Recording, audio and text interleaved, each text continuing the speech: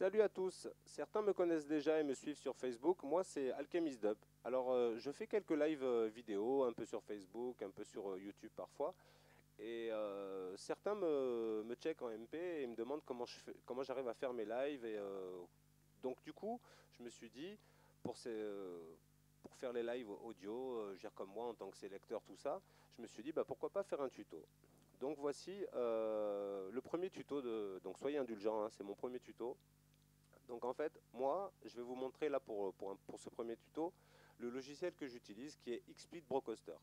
Donc pour le trouver, c'est très simple, vous vous rendez ici sur www.xsplit.com. Voilà, donc vous téléchargez, il y a une version gratuite, il y a une version payante. Sur la version gratuite, certaines choses, euh, bah, vous arrivez à faire certaines choses, mais euh, par exemple pour diffuser en, un débit au-delà de 192 kps, c'est euh, pas possible avec la version gratuite. Ceci dit, si vous faites juste des lives sur euh, Facebook, c'est pas un problème parce que Facebook, lui, de toute manière, il euh, ne stream pas au-dessus de 128. Donc ça, au moins, c'est réglé. Pour la version euh, gratuite de Broadcaster, ça devrait aller. Moi, j'ai choisi la version payante parce que je, fais pas mal de lives et puis j'ai découvert en premier XSplit parce que vous avez, euh, mais ça fera l'objet d'un autre tuto, vous avez OBS Studio qui fait exactement la même chose que XSplit, mais c'est totalement gratuit. Sauf que moi j'ai commencé avec XSplit et euh, je vous avouerai qu'en fait, euh, même si l'autre le fait très bien, je préfère celui-là. Donc pour, pour ceux qui voudraient prendre la version payante et ne pas être bridé ou quoi que ce soit, alors en fait c'est simple. Moi j'ai pris cette version-là à 8,32$ par, par mois, ce qui me fait un total de 25$ par tous les 3 mois. Donc bon, c'est pas, euh, c'est une somme, mais bon, voilà. Moi j'aime bien, donc euh, c'est les seuls trucs que j'ai euh, dans mes dépenses pour le, son. Donc voilà, moi je le fais là. Donc en fait vous, admettons, vous le téléchargez. Voilà, c'est fait, vous l'installez, vous suivez bien toutes les instructions à l'installation, vous l'ouvrez. Généralement, quand vous allez l'ouvrir, à quelque chose près, vous allez avoir ça, c'est-à-dire rien à l'écran. Donc en fait, il faut savoir que pour, euh, pour faire un live sur Facebook, il vous faut ben, une webcam si c'est ce que vous souhaitez euh, diffuser, euh, une carte son si vous souhaitez diffuser un son avec une bonne qualité. Donc voilà, là maintenant je vais vous montrer comment ajouter tout, tout ça. Donc moi je dispose d'une carte son, je, je, pourrais très bien comment dire, si vous voulez diffuser de la musique à partir de votre PC et, de votre carte son, ça c'est possible. Moi, euh, j'ai tout un système, je passe par une console de mixage, du coup j'envoie le master de ma console aux entrées de, de ma carte son, comme ça voilà, le signal est reçu par la carte et je peux enregistrer mes sélections sur le web, tout ça. Donc voilà, maintenant, comment faire? Donc là, maintenant, on est ici, on n'a rien à l'écran. Donc on va ajouter une source. Donc en premier, vu qu'on veut diffuser, euh, admettons, une sélection audio, qu'est-ce qu'on va faire? On a besoin de, euh, de l'endroit où on va capter le signal. Donc c'est la carte son. Donc là ici, je vais dans périphérie, webcam, etc. Et je choisis audio. Et je vais choisir le périphérique 1.2. Ça, ça c'est ma carte son. Vous avez entendu vite fait un double, donc c'est pour ça que je l'ai désactivé ici. En fait, pour que euh, vos lives se passent bien, il faut à tout prix que le, que le petit œil que vous voyez là ne soit pas barré. Donc je vais vous montrer le test, comme ça au moins vous le voyez, vous m'entendrez vite fait en double, mais c'est pas bien grave. Là, il est, activé, dans, mon, logiciel, par, exemple. Vous m'avez entendu brièvement en double, voilà. Donc là c'est bon, j'ai ajouté. Maintenant, vous, euh, pour vos lives, vous avez envie de vous dire « Ah purée mince, j'aimerais bien euh, mettre ma webcam ». C'est pareil, c'est une source. Tout ce que vous voulez ajouter, c'est une source. Donc en fait, on fait ajouter source. Là, vu que c'est la vidéo qu'on cherche, on va aller dans webcam. Je cherche la vidéo. Moi, j'utilise une Logitech HD webcam C270. Voilà, donc là, je la fais apparaître. Vous voyez à l'écran ici, elle est venue. Donc en cliquant dessus au centre, vous faites bouger un peu, un peu où vous voulez. En cliquant dans les coins, vous la faites, euh, hop, voilà, vous la, la faites bouger, vous l'agrandissez à la taille que vous voulez. Ensuite, euh, vous cliquez dessus. Alors, soit vous faites paramètres et vous atterrissez ici, soit vous faites tout simplement un clic droit dessus et vous atterrissez au même endroit. Donc en fait, ça, c'est les paramètres de la webcam euh, vue par euh, le logiciel XSplit. Donc admettons, moi je veux configurer la sortie vidéo. Donc j'ai les paramètres de ma webcam. Donc moi, si vous avez la même que moi, c'est ce que vous c'est ce que vous verrez d'afficher, mais ça sera en fonction de votre webcam aussi. Donc là, moi j'ai choisi pour un bon ratio vidéo-audio de, de, la régler en 960 par 120. Mais voilà, j'ai toutes ces possibilités. À chacun de trouver, euh, bien entendu, son réglage. Alors, en dehors des petites, euh, du format de la, de, la webcam, euh, je vais sortir de là, ici vous voyez, vous avez un pourcentage. Si je me mets à diffuser, là actuellement, j'ai une résolution et j'ai choisi 854 par 480. En fait, vous voyez, là je suis à 103%. Ça veut dire qu'en fait, le logiciel, avec cette diffusion, il consomme presque rien. Si je voulais diffuser plus, admettons, je mets 1920 par 1080.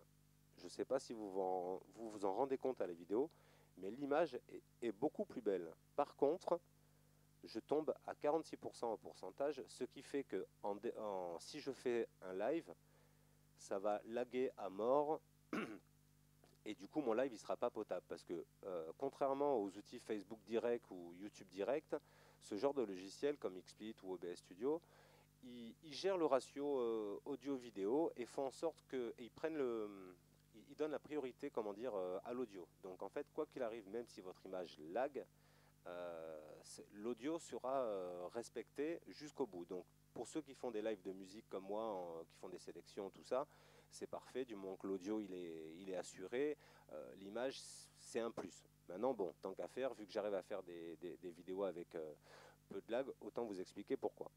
Donc en fait c'est ça. Là, là, ça ne va pas diffuser correctement. Donc, ce que je vais faire, c'est que je vais me remettre dans ma position initiale à 854 par 480. Ce qui fait que là, je retombe à un pourcentage, voilà, ultra, voilà, vous avez vu par rapport à tout à l'heure, ultra utilisation élevée du processeur détecté. Vous pourrez rencontrer des problèmes de performance. Donc ça, c'est tout à l'heure quand j'étais à 46%. Donc là, maintenant que je l'ai remis à 854 par 480, il m'affiche un pourcentage de 103, ça veut dire que là, je peux diffuser sans souci, sans lag. Bon, si vous avez une ado comme moi à la maison, malgré ces paramètres, votre Wi-Fi plus le sien, euh, c'est elle qui gagne et pas vous. Alors, euh, au niveau euh, de la résolution image par seconde, faites vos tests. 60, 60 fps, j'ai jamais réussi. Le mieux, le plus simple pour moi, c'est 30 fps. Donc, gardez ce genre de paramètres. Moi, je pense que c'est mieux. Donc bon, voilà, là on a vu euh, le côté, on ajoute la webcam, on ajoute la carte audio que je vous montre ici. Donc là comme ça, vous trouvez que votre visuel pour votre live, il n'est pas assez euh, vivant, vous voulez rajouter quelque chose. Donc bon, alors moi je fais une autre présentation, voilà, je décale ma, webcam et vous dites, ah, je veux rajouter du texte. Bah, le texte, c'est pareil, c'est comme la carte son, c'est comme la webcam, c'est une source.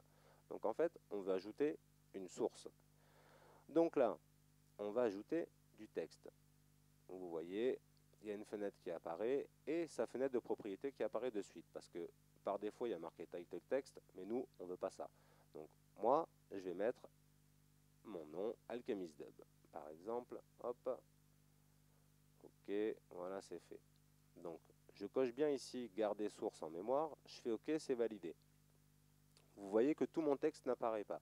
Eh bien, c'est très très simple. En fait, là, je me place ici sur le, sur le carré et je baisse comme ça. Voilà. Donc là, je reprends au milieu, je clique dessus et je le, positionne à peu près ici. Voilà, j'ai envie que ça soit un peu plus grand. Euh, voilà, j'ai envie de choisir à la taille de, la webcam parce que je me dis ça, ça me plaît bien.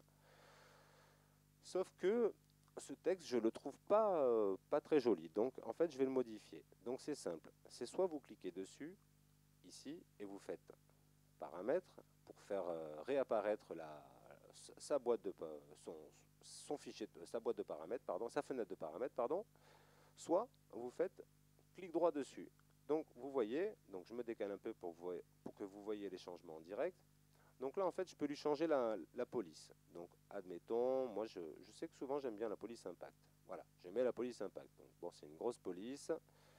Mais bon, la blanche, je trouve que j'aime pas. Donc, voilà, je la mets en jaune. Donc vous avez vu, je vais ici, là, je vous la mets en bleu. Donc voilà, là maintenant. Et j'ai envie par exemple de lui mettre du jaune autour pour le, faire ressortir. Donc là, Vous avez un petit menu ici, c'est pareil. Hop, on veut que ce jaune, il apparaisse un peu plus. Et encore un peu plus.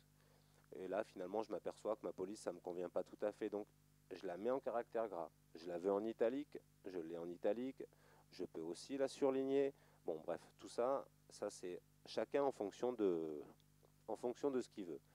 Là, ici, vous avez une, euh, une fenêtre de couleur comme, euh, ici et là. Et bien en fait, ça c'est simple. En fait, c'est euh, l'ombre de... en fait, c'est comme mettre un petit nuage derrière de, de couleur. Donc moi, je vais choisir, admettons, ça va pas faire très beau là, là de suite, mais pour que ça se voit, je vais mettre un, un nuage rouge. Donc là, vous voyez, le flou, il est sur 0. Ben, ce que je vais faire, c'est que le flou, je vais l'augmenter. Et petit à petit, voilà, regardez, petit à petit, dans le fond, vous voyez apparaître le rouge. On le voit bien, si je le mets à, voilà, là je le mets à 100%, on voit bien que c'est rouge derrière. Si je change de couleur, ça va devenir de la couleur que je change, voilà. Donc après, ça c'est pareil, c'est à l'appréciation de chacun. On peut décaler, euh, on peut faire, voilà, l'opacité, on peut le rendre moins opaque, plus opaque, c'est au choix. Et on a l'angle. L'angle, c'est pour, par exemple, là, il est centré, c'est pour le décaler, ce petit nuage. Vous, vous le mettez où vous voulez. Là, il bouge, il est censé bouger. Voilà, distance. Bon, voilà, vous avez compris le, le principe, c'est comme ça. Donc là, maintenant, un petit truc qui est intéressant aussi pour faire ressortir la fenêtre de caméra. Donc, c'est pareil. Vous cliquez sur la, fenêtre caméra ou euh, vous cliquez sur la fenêtre, ici, clac, paramètres, ou alors vous faites un clic droit ici et ça vous fait apparaître les paramètres de la webcam. Donc ça, je vais me décaler là, hop, je vais sur ce petit onglet et je me dis, j'ai envie de rajouter un petit truc, je ne sais pas quoi. Donc là, je, vais sur forme, je vais cliquer ici pour moi. Vous avez vu, d'un coup sur, euh, sur la webcam, là, il y a un petit rectangle blanc qui est apparu. Alors là, c'est pareil, on peut le changer. Je le mets en rouge, mais bon, par contre, je trouve que c'est un peu, euh, waouh, y a trop de rouge. Donc qu'est-ce que je fais? Je diminue ici, hop, voilà. Je peux euh, décaler, je peux décaler tout ça. En fait, il y a tout un tas de paramètres à, vous de trouver les vôtres en fonction de, vos envies, euh, tout ça. Moi, je sais que je règle généralement mes, petites choses comme ça euh, sur live. Donc là, voilà. Donc je vous ai montré la webcam. là, on est bon. Donc maintenant, qu'est-ce qu'il va falloir faire? Donc là, on, a vu euh, comment installer euh, sa webcam, sa carte son, euh, tout ça sur, sur. Donc là, vous avez mis votre petite présentation, vous êtes prêt à diffuser. Mais on ne s'est pas encore créé de chaîne. Donc pour créer la chaîne, c'est ici qu'il faut aller. Donc vous voyez, moi j'ai déjà la mienne, Facebook Live ou YouTube Live. Donc là, vous faites créer une nouvelle sortie. Personnellement, je ne vais pas le faire parce que je l'ai déjà fait et voilà. Donc vous arrivez sur cette fenêtre. Bah là, c'est tout simple. Vous allez euh, cliquer sur Login with Facebook. Voilà. Et là, vous commencez à rentrer votre email, toutes les informations. Et vous verrez, à un moment, il va vous demander une certaine euh, clé de flux. Alors, la clé de flux, c'est ce qui va permettre euh, à XSplit de diffuser via Facebook. Et quand vous, et quand vous créerez ici une nouvelle sortie pour YouTube apparemment, euh, YouTube aussi, il y aura une clé de flux à aller rechercher, mais ça je vous le montre juste après. Donc là, vous êtes euh, en train de euh, configurer votre nouvelle sortie pour Facebook Live. Donc vous avez tous vos paramètres, tout ça. Et vous êtes au moment où il vous demande la clé de flux. Alors la clé de flux, c'est très simple. Moi, je vais vous montrer. voilà, on va changer. Je vais sur, je vais sur ma page. Donc voilà, moi je suis sur ma page.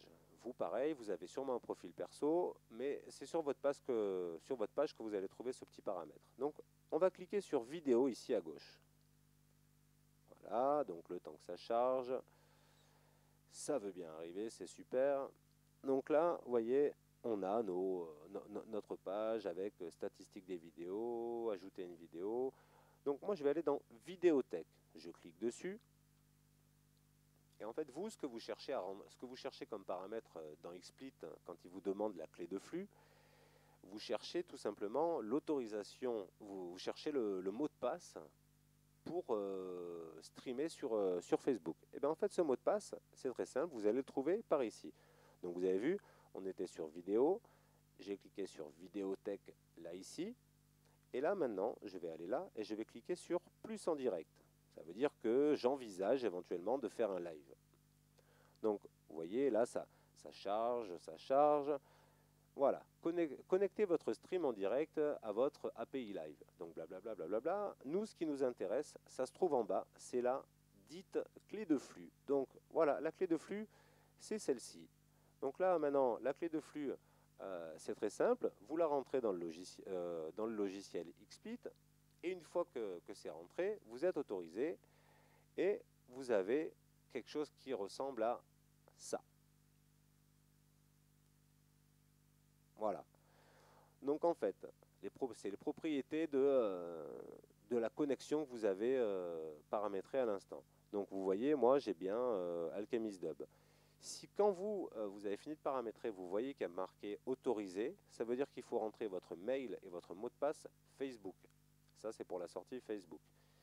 Alors moi, comme je vous disais, ah non je ne vous l'ai pas dit là, en fait, moi j'ai un débit de 12 mégas descendant et 0,9 euh, en montant. Donc c'est pas énorme. Donc moi j'ai choisi de, pour avoir un live à peu près stable en termes d'image et de son, j'ai choisi de, diffuser en, 520. Vous voyez, je suis en 520.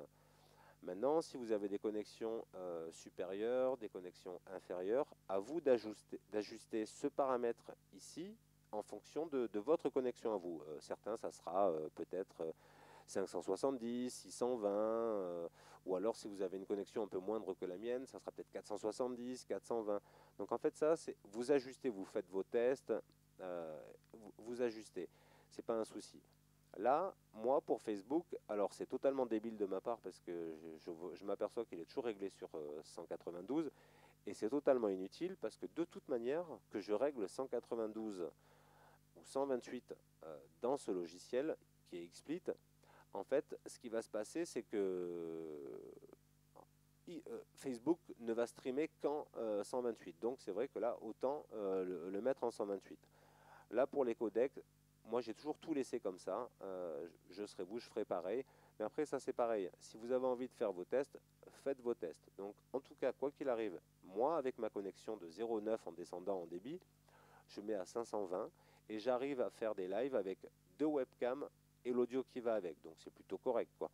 Donc à vous de voir. Si vous avez une connexion supérieure, vous montez ce, débit ici. Si vous avez une connexion inférieure à la mienne, euh, eh ben, vous descendez ce débit. Là pour 128, pour Facebook, ça ne sert à rien de mettre plus puisqu'il ne, il ne stream pas à plus de 128 kps. Voilà. Donc là, donc j'annule. Maintenant, une fois que votre, une fois que votre sortie... Euh, comment dire, une fois que votre, votre connexion elle est configurée, vous allez vouloir diffuser. Et bien là, c'est très simple. Vous allez dans l'onglet Diffusion, hop, et vous choisissez la connexion que vous voulez activer.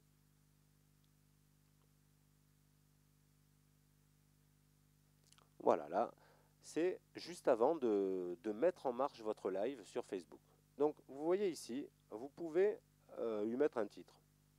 Donc moi je mets hop, blablabla, on s'en fout. Donc ça, vous, vous pouvez mettre un titre. Là, vous pouvez mettre votre discussion. Et lors de vos tests, quand, vous ne saurez pas exactement quel débit mettre, si vous mettez 520, est-ce que je mets plus que Alchemist dans son tuto ou pas eh bien en fait, vous pouvez très bien commencer à diffuser, mais le diffuser juste pour vous, comme ça, au moins. Vous, vous voyez ce que ça donne euh, sur votre site, bah, sur votre Facebook, et en même temps, euh, si vous ne voulez pas voir, euh, pas que tout le monde voit vos tests et les embêter, ben, au moins c'est tranquille, vous, pouvez faire vos tests tout seul. Après, vous supprimez la vidéo de Facebook et puis c'est fait. Donc, mais si une, fois que tout est paramétré, qu'est-ce que vous faites? Vous, vous le laissez en public et vous faites démarrer la diffusion. Voilà, ça c'est pour la partie Facebook. Maintenant, c'est toujours pareil. Euh, admettons, je veux configurer une nouvelle sortie. Donc, c'est-à-dire que vous voulez faire un live, mais cette fois-ci, un live avec YouTube. Euh, non, là, c'est pas ce que je voulais faire. Donc, configurer une nouvelle sortie. Voilà. Hop, ah bah oui, ça apparaît euh, direct là comme ça. Donc ça, je le savais pas. Donc, je, c'est pas grave. Pour, la, pour configurer la sortie YouTube, je vous, je vous laisserai faire, parce qu'après, mais c'est comme pour Facebook, en fait, il faut comment dire, noter votre email, votre mot de passe de YouTube pour entrer dedans, et voilà. vous voyez, regardez, là, on est bien sur ma connexion YouTube et pas sur mes lives Facebook. Et j'ai paramétré pareil. J'ai mis 520 en débit. À vous de voir pareil si vous voulez le laisser à plus ou à moins. Mais ici, par contre, j'ai mis à 192. Parce que YouTube, lui, permet un débit supérieur à celui des lives Facebook. C'est 192. Donc, autant passe en privé, surtout quand on fait, euh, comme moi, des lives euh, avec de l'Asie. Donc voilà. Maintenant, quand vous allez créer, quand vous allez créer ici, là, configurer une nouvelle sortie, quand vous allez créer votre connexion pour faire vos lives YouTube, à un moment, il va vous demander aussi, euh, comment dire, votre clé de flux YouTube. Alors, la clé de flux Facebook, c'est une chose, la clé de flux YouTube, c'en est une autre, hein. on est bien d'accord. Donc là, qu'est-ce que je vais faire? Je vais sur... Alors, si vous avez... Donc, déjà, tout d'abord, je me mélange. Si vous voulez faire euh, un live YouTube, il faut avoir un compte YouTube avec une chaîne. Donc, vous créez ça sur YouTube, il n'y a pas de problème. Donc, moi, je vais dans ma chaîne.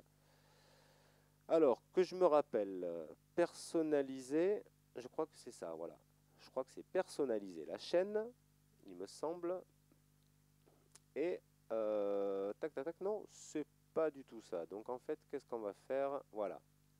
Vous, voyez là, le petit onglet ici, c'est là. Hop, passer au direct. Donc en fait, euh, vous allez être directement, vous allez être redirigé directement vers la fenêtre pour lancer euh, directement un live, un live par euh, YouTube. Vous voyez, sur le site de YouTube, vous arrivez sur cet écran. Mais vous, vous avez décidé de diffuser sur YouTube pas par YouTube directement, mais toujours par le logiciel XSplit. Donc, en fait, là, vous allez cliquer ici en droit, euh, à droite, en bas à droite, pour encodeur pour la diffusion en direct. Ce, qui veut dire que vous utilisez un logiciel pour, euh, pour streamer, tout simplement. Donc, on clique dessus. Et là, ça va charger, donc ça prend un petit peu de temps. Ça charge et ça va m'amener voilà, à ma page à moi Facebook, euh, YouTube, pardon, ça m'amène à ma page YouTube. Donc, à vous de préparer euh, votre, votre fond perso. Bon, là, vous voyez ma, configuration à moi parce qu'on est sur ma page.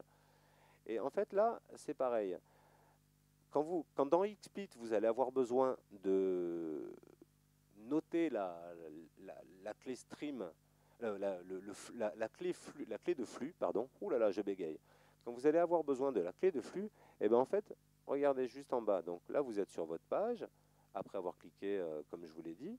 On arrive ici, et quand vous descendez, la clé de flux, elle est là. Et eh bien c'est pareil, cette clé de flux, vous la rentrerez dans XSplit au moment où vous avez décidé de configurer la nouvelle sortie, au moment où on vous le demande. Voilà. Bah, écoutez, c'était euh, un premier tuto sur euh, comment faire euh, ces lives sur YouTube ou sur Facebook avec le logiciel XSplit. très bientôt, j'essaye de faire un tuto sur la même chose, mais pour le logiciel OBS Studio. Allez, à très vite, merci encore.